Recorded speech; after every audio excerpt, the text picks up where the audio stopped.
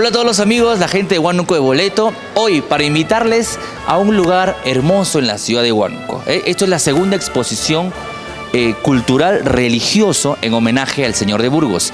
Vean conocer un poco más de lo que tiene esta institución de reliquias, sudarios, coronas y muchas cosas más que usó el Señor de Burgos durante todos estos años de historia hasta la actualidad.